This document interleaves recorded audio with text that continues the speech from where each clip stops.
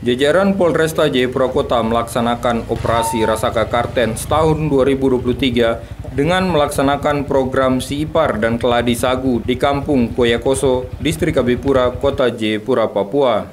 Operasi Rasaka Kartens di Kampung Koyakoso ini mendapat sambutan baik dari warga setempat. Seperti diungkap Ibu Yakomina, warga melihat kedatangan aparat polisi dalam melaksanakan program Siipar kepada anak-anak yang putus sekolah membuat para orang tua menjadi bangga kepada pihak kepolisian.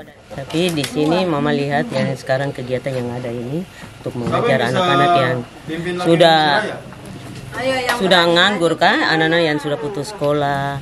Tapi di sini pun memang masyarakat yang lihat itu anak-anak yang putus sekolah itu kalau so keadaan yang polisi datang so mengajar begini tuh kami orang tua yang ini bangga sekali.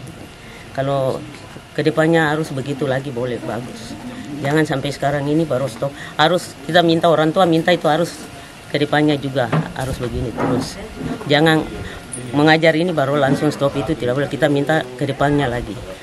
Nanti tahun yang akan datang lagi polisi adik-adik polisi juga harus datang mengajar anak-anak Ibu Yakomina meminta kegiatan operasi Rasaga Kartens 2023 Polresta Jayapura Kota tetap berjalan secara intens dan berkelanjutan, bukan hanya di tahun ini, namun berlanjut di tahun mendatang.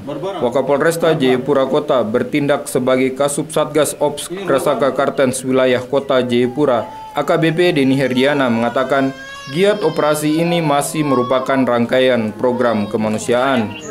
Dalam melaksanakan program ini, anggota Polri membagikan sarana pendukung untuk belajar bagi anak-anak didik serta pelayanan kesehatan kepada warga setempat.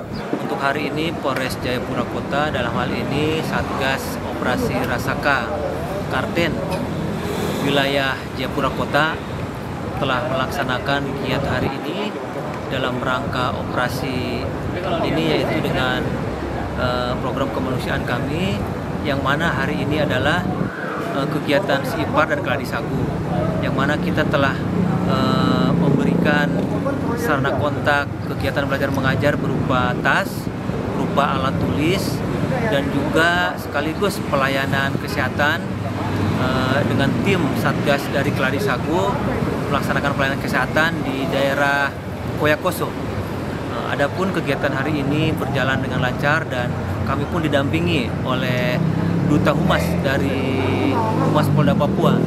Kita bersama-sama turun lapangan, berkolaborasi untuk memberikan uh, pencerahan, memberikan uh, apa yang Polri harus diberikan kepada masyarakat yang menurut Polri itu dibutuhkan oleh masyarakat. Sementara untuk diketahui, operasi Rasaga Kartens melalui Satgas Binmas Noken hari ini menggelar program Sipar dan Keladi Sagu bersama Duta Humas Polda Papua bertempat di Koya Koso, Distrik Abipura.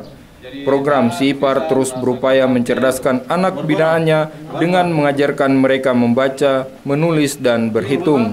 Kegiatan ini telah dilaksanakan sejak 1 Februari 2023 lalu dengan membagikan anak didik Koya Koso berupa tas sekolah, alat tulis seperti buku tulis dan mewarnai, hingga pensil, penghapus, dan sleper atau serutan.